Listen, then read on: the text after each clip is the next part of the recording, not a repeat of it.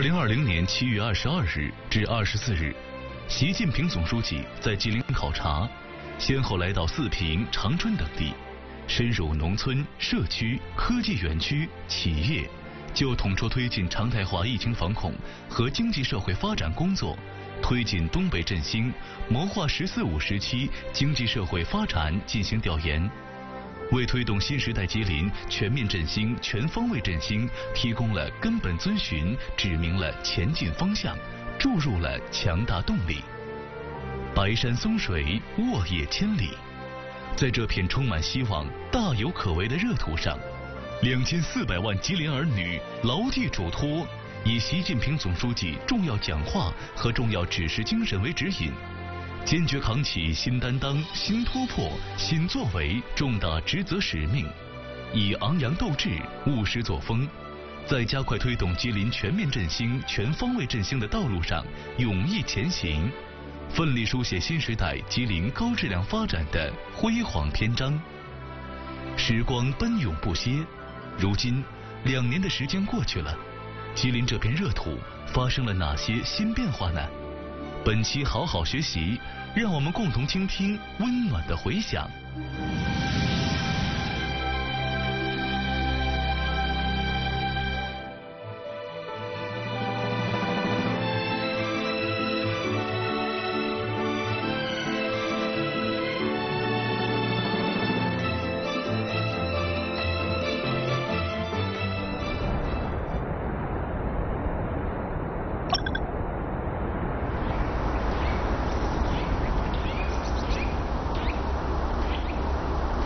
具体投资已经合同都签完了。哦，嗯，可以。陶大哥，哎你们在讨论些什么呢？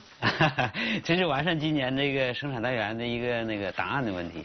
总书记来梨树视察以后，我们这个就是为了做一个梨树模式的升级版，然后就建建了一个这个农业现代化生产单元，很多层面吧，呃，都挺重视农业，而且我们自己也在自身不断的来追求的东西，向主向总书记来做一个回报，来一个回答。习近平总书记的肯定和鼓励，让梨树县坚定了信心，增添了力量。陶勇告诉我啊，去年梨树县率先打造了梨树模式升级版，建设现代农业生产单元，更大面积、更高质量推广梨树模式。这是我们那个博硕生等下到咱们合作社来进行支援的。您过来多久了？啊，我过来已经两年了，已经。然后，因为我是在单元办公室嘛，单元办公室的成员，然后在咱们王站长的带领下呢做单元，然后啊，我们主要的工作呢就是负责对接合作社，帮他们整理档案，同时呢，他们生产情况中遇到一些比如苗情啊，或者一些啊协议书啊，他们整不懂懂的，我们反馈一下给站里面，站里面给提供一下啊具体的解决方案呀、什么的，助力他们完成这个单元建设。孙成长告诉我，现代农业生产单元就是以农民专业合作社或家庭农场等新型经营主体为实施主体，打破农户间土地界限，以三百公顷土地相对集中连片为一个单元，全程机械化操作，整线推进梨树模式。去年梨树县完成了十四个单元建设，今年计划达到二十二个。那来到咱们梨树的同学多吗？啊，多常住在站里面的还有四十多个呢。嗯然后他们在完成他他们自己大田实验的同时呢，也就是以科技特派员的身份，就是双百名硕博生进入百家合作社，去了解咱们生产实际中遇到的一些问题，然后再把这些问题反馈给我们的这些啊老师呀、专家团队呀这样的，然后形成这样啊专家、老师啊专业合作社这样形成一对一的这种服务模式。中国农业大学吉林梨树实验站聚集了来自各地的农业专业硕博人才。去年，梨树县启动了百名硕博近百家合作社活动，课题设置：科研攻坚、实地探究。硕博生们蹲在田间地头，和当地乡亲们同吃、同住、同钻研。他们把科研论文写在梨树的大地上。这片黑土地上的人们也享受着科研成果转化成的实实在在的收成。梨树模式推广过后，是不是收成也更好了呀？对呀、它明显的这个产量要增加，但是表现最突出的和最明显的就是土壤有有改变。土壤有机质增加了，然后根系发达，还有你看现在这个根系，土壤松弛，而而且这这个有机质增加了，那这样很明显，这个产作物的产量呢会那就会增加。陶哥做农业有多长时间了？呃，正式做农业七年。啊，这时间也不算太 长，也不算太不短啊。呃，可以说我不是正儿八经的农民，因为我在以前是搞机械加工出身的。呃，可以说这个里边有点渊源啊。怎么就转行了？当年我在辽宁呃上上班的时候啊，在一个机械加工厂，机械加工厂当主任。但是那时候一三年的时候，咱们梨树正是这个合作社和种植大户发展最快的时候。我因为我岳父那时候自己家有个小四轮，有个车呀。就是呃租赁点农民的土地为农民干点活，他就属于种田种田能手和种田种地大户。王震就让他说是鼓励他呃发展这个办一个农家庭合作社了，他就经常出去学习。但是他呢出去学习或者是这个发言啥的就比较费劲，他就让我给他写个稿啦，帮他选一在网上选一些机具啥的，这样我就了解这个东西了。看到了黑土地上蕴含的希望。二零一五年，四十三岁的陶勇毅然辞掉稳定的工作。回到家乡从事农业。当年八月，陶永德梨树县双赢农机种植专业合作社成立了。二零二零年总书记来了以后，对我们更更是一个这个最大的鼓舞。总书记给我们指示就是因地制宜的发展农民专业合作社，所以对我们有了方向。而我从一八年的时候，几二十二三十场地儿，到去年和今年的三百公顷，呃，给农民进行保底价分红。老百姓的口碑也好，他多赚钱了，我们这也那个发展也快了，而且有干劲儿。嗯。陶勇告诉我，今年合作社经营土地三百多公顷，实行整村推进三个行政村、五个自然屯，合作社茁壮成长。社里的社员也享受着发展红利。今年社员每公顷保底加分红一万五千元以上。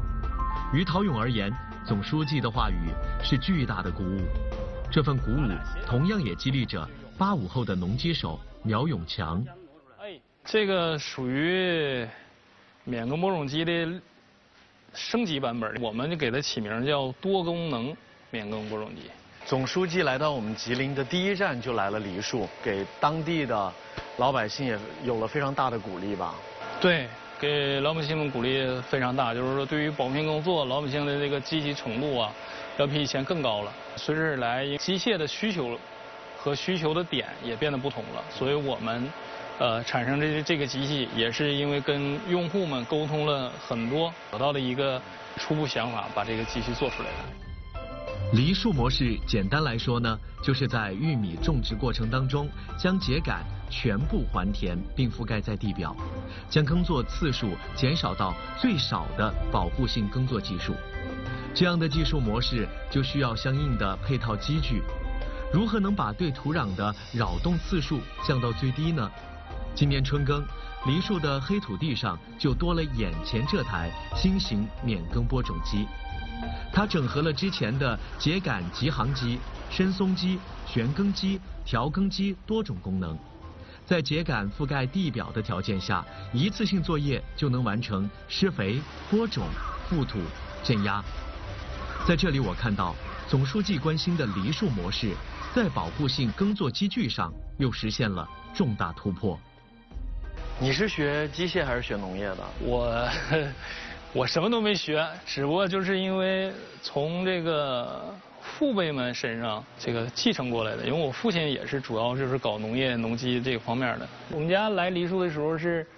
干的拖拉机修配厂，就是修车的，修的就是农用车。我小时候的玩具，我跟他都说，我说我的小时候玩具是自己拆轴承玩珠粒儿人家是玩的玻璃球，我玩的是钢球。呃，可能是从小到大耳濡目染，接触这个东西比较多，随之而来的这个对这个东西兴趣的点，相对来说就会变高一点。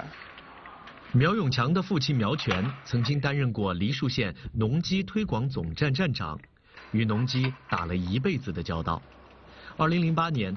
中国第一台免耕播种机在梨树问世，作为核心研发成员之一，苗全始终期许着中国免耕机能不断创新完善。如今，免耕播种机已完成第八代产品更新，完全实现国产化。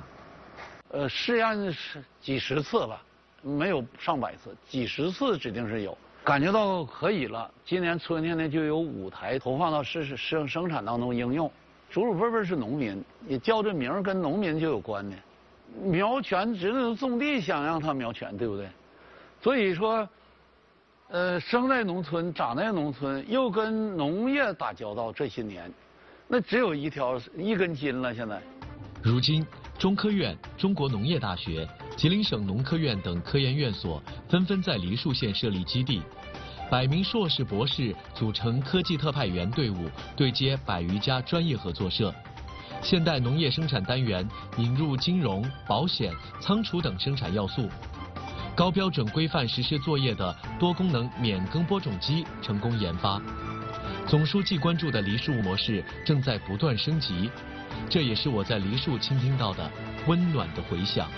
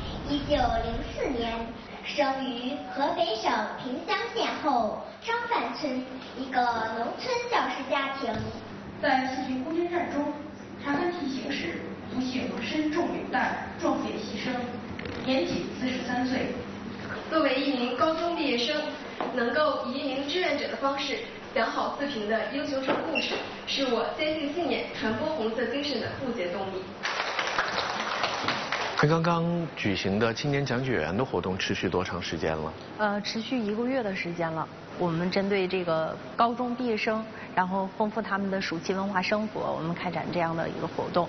因为每一年我们之前举办的都是针对小学生举办的这样的活动，嗯，然后现在我看有初中生、高中生对对对，就是因为有很多家长了解，就是我们有这样的一个志愿服务，有很多家长主动给我们打电话说，能不能让孩子来到我们纪念馆做志愿者服务这样的，然后我们就举办了这样的活动。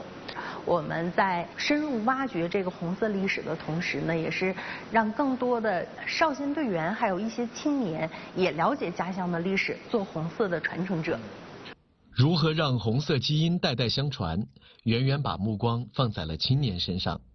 今年四平战役纪念馆发布了招募青年志愿讲解员公告，一时间大量的四平学子参加到志愿者活动当中，经过基本功。讲解技巧、战史教育等培训和选拔后，目前已经有十多名同学通过考核，在未来的生活中为红色文化的传播贡献力量。有一个罗有荣将军，他的这个子女来我们馆捐赠文物，然后他说我父亲生前对我说，一定要到我打过仗的地方去走一走、看一看，去感谢那里的人民，是因为有了人民的支持，才能取得胜利。一件件革命文物是烽火岁月的历史见证，是爱国主义教育的最好载体，更是催人奋进的力量源泉。圆圆说，自从去年八月以来，四平战役纪念馆累计新征集革命藏品两百多件。经过一层层选拔，我终于成为了一个合格的少先队讲解员。然后之后呢，我现在就是想带领低年级小朋友一起去讲解家乡的红色故事。我想把四平的红色历史故事发扬光大。这个假期我也经过了嗯这个战役纪念馆的培训，也能开始为大大家讲解了。我也期待用我的力量把四平故事传播给更多的人。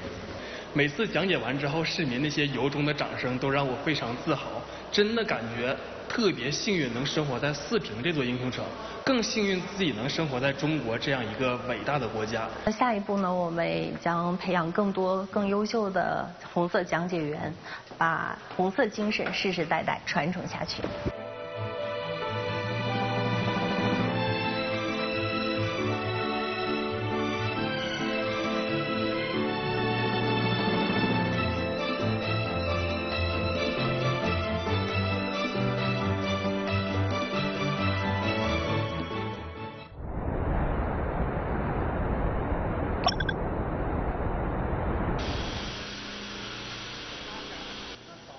李姐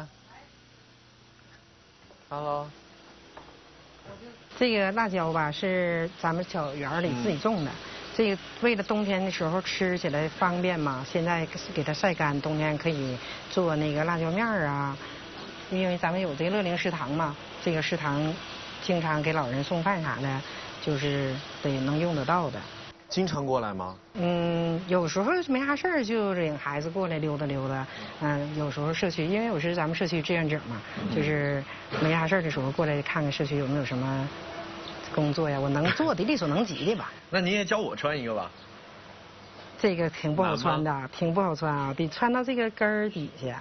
哦。哎，辣椒的那个根儿底下。李杰告诉我，长山花园社区有很多六十岁以上的老人。去年，社区决定把原来给社区工作人员做饭的小食堂扩建成社区乐龄食堂，每餐七元钱，满足老人日常餐饮需求的同时，从饮食安全、健康方面做好兜底性保障。孩子呢？孩子上幼儿园了。上幼儿园了，在这边上幼儿园呢。啊。啊，那就你接送呗。有时候接，反正不全是我。他是这个楼的。嗯，他家特别干净，就是在我们这院里，不是他不是现在这样，就是这么多年他家就是那样，就是那样干净，干干净净。哎，对。我还听说您现在是楼栋长啊？嗯，我是咱们二栋的楼栋长。这退休也挺长时间了，为什么不想想清闲，还担上了楼栋长的责任？嗯，其实这个吧，得说跟咱们社区。吴书记有关系，吴书记一直在。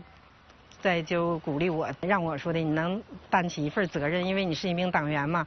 一开始我有点不能接受，不愿意当这楼栋长嘛，就是因为你要想当上这楼栋，你当上这楼栋长，你就有责任。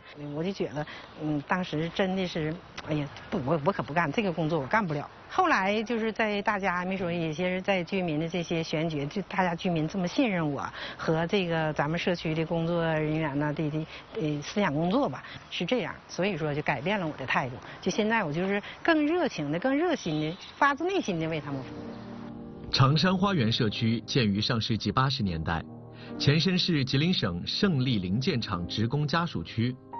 李杰一家在这儿已经住了二十多年。这里保存了他许多珍贵的回忆。作为义务楼栋长，李杰经常在社区义务站岗巡逻、清理卫生。目前社区有十四个红马甲特色志愿服务队，还有十多个百姓说事点、邻里守望哨。谁家有事了，大家都争着互相帮助，整个社区其乐融融。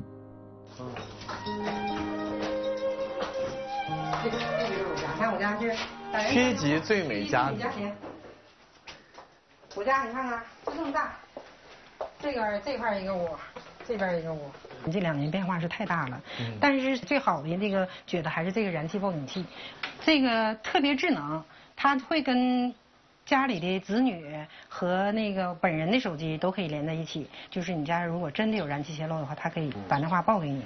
我这个燃气报警器，我为啥说它特别有用啊？就是有一次我家做菜，就在这儿，你看我这个灶具就在这儿，做菜它就糊了。这个地方因为空间比非常小哈，完了它就菜糊了，还真不是燃气泄漏了，但是是菜冒烟了，就屋里全是烟了哈，他就报警了。完了那个运营商就给。电话就给我打过来了，完不大一会儿，我姑娘电话也打过来了，孩子电话也进来了，说咱家是不是有燃气泄漏了？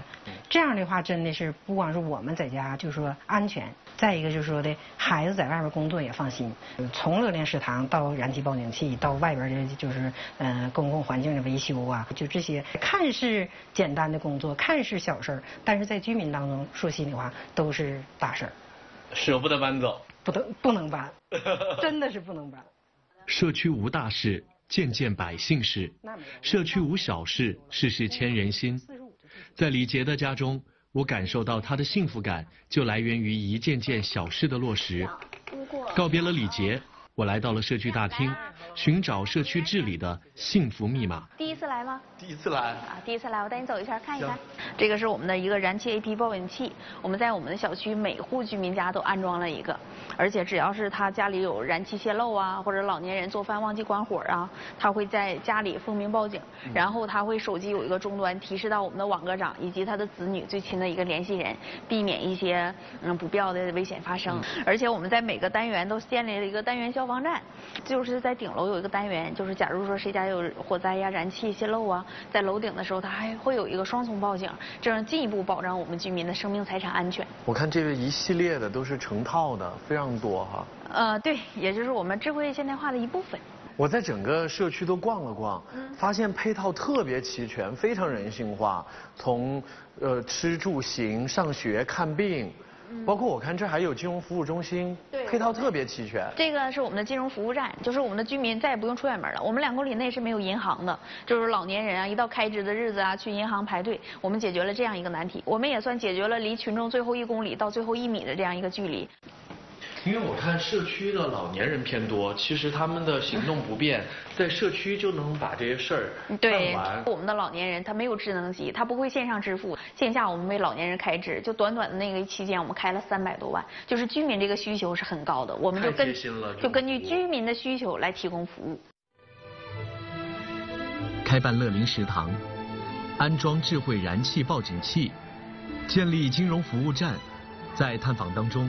我感受到长山花园社区不断在百姓的需求和社会的发展中寻找新的突破点。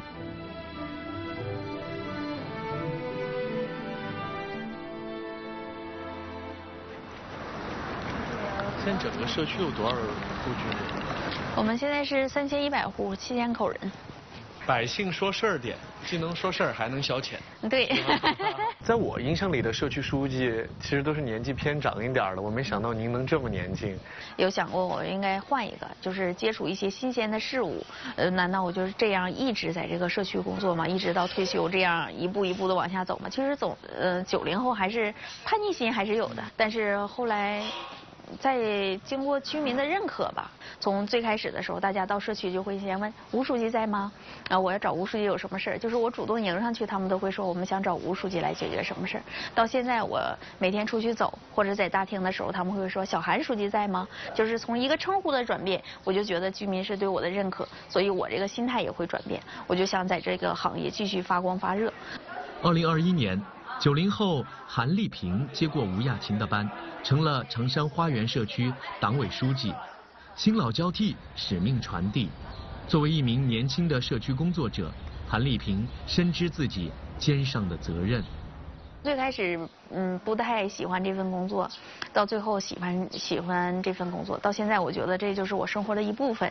因为人总要有自身价值的体现，我觉得这能给我自身价值做一个体现。我是有一个。被需求的人，我是一个能为呃大多数人做一些事情，而且能解决他们衣食住行啊，他们生活难题的人。我觉得我的存在感非常足，我觉得这就是我生活的一部分。心比较齐，就是干什么工作都是大伙就一起就干了，一直在做一些对对这个社会有意义的事情。我觉得这就是年轻人应该做的事儿。更加塌下心来为居民服务，向总书记的要求看齐，做好。这个小牛是去年过年的时候到社区吃饺子，每个人都给一个小牛。老享福了，在这玩有玩的地方，什么事儿社区一句话子帮忙，住的也放心。这么好，没没闹过。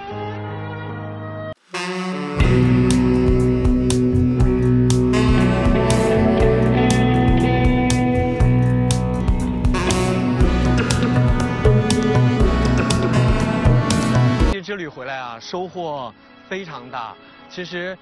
我遇到的几个人给我留下的印象都非常深刻，不管是和邻里相处的非常融洽，爱邻居像爱家人一样的长山花园社区的李黎，还是我在梨树碰到的陶哥、苗哥，他们身上散发的那种向上的能量，给我的触动，都到现在记忆深刻。这就是啊，这个总书记视察吉林，呃，给我们吉林省所增添的这份力量。增添的这份信心，在你所到之处，些人物身上，你都看到了他们身上所展现出来的这种新的风貌。党的十八大以来呢，总书记是三次视察我们吉林省。二零二零年七月第三次视察吉林，那么这次视察吉林呢，应该是赋予了我们吉林新使命，提出了很多新要求。像你去过的这个梨树，呃，我们吉林省呢是一个农业大省，也是一个粮食大省。那么在全国的粮食总产量当中呢，我们吉林省是处在全国的第五位，而且呢，每一年调出的粮食的数量极大。总是对我们吉林的农业啊寄予厚望，啊，要求我们吉林省要啊争创农业现代化建设的排头兵。那么怎么样呢来当这个排头兵呢？那么就是要担负起承担国家粮食安全的这样的一个重任。两年来，我们发展是非常迅速的，而且有很多大的这个重大的举措，比如说我们在黑土地上。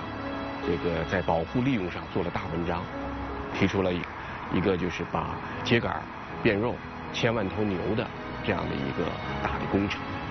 这些工程呢，都会对国家的粮食安全，对于整个国家的发展产生一个重大的作用。那么这些既富国又利民，那么老百姓也会从这样的一个发展当中得到实惠。在刚刚闭幕的吉林省第十二次党代会，它的核心主题啊。就是要把总书记的这个讲话精神呢，进一步的落到实处，要体现新担当，实现新突破，展现新作为，要实现呢我们吉林省六个显著跃升。并且呢，我们订立了相应的七个方面的这个重点任务。那么这些目标的定立和这些任务的设定，实际上都是在完成总书记赋予吉林的这个使命。我们吉林省呢，这个一主六双高质量发展战略，包括六新产业、四新设施啊，那么这些呢实现之后呢，都可以更好的啊实现总书记对我们吉林要求的是多点支撑、多业并举、多元发展的产业发展的新格局。那这样就从根本上会改变我们。老工业基地原来产业过老过旧，发展动能不强，这样的一个历史，应该说吉林的未来会更美好，未来可期。巨大的鼓舞，强大的动力，亲切的关怀，激荡着吉林大地，焕发勃勃生机。谆谆嘱托，殷殷期盼，凝聚起吉林奋勇向前的磅礴力量。党的十八大以来，吉林振兴进入上升期和快车道，全省全力打造现代新型汽车和零部件、农产品及其深加工和食品细加工、冰雪和避暑休闲生态旅游三个万亿级大产业，以及若干千亿级规模产业，走出了一条质量更高、效益更好、结构更优、优势充分释放的发展新路。作为国家重要的商品粮生产基地，这十年吉林累计建成高标准农田四千零三十万亩，主要农作物两种覆盖率百分之百，大力发展清洁能源，打造省内消纳、电力外送、轻储能三个千万千瓦级新能源基地，实施一系列重大生态工程，森林、草原、湿地等得到有效保护。东北虎豹国家公园入选全国首批国家公园，全省空气优良天数比例达到百分之九十四。十年画卷，浓墨重彩，壮阔新篇，催人奋进。